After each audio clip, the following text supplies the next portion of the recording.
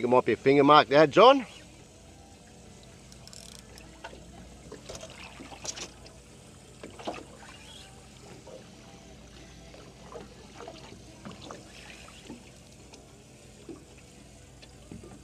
Haven't got colour yet.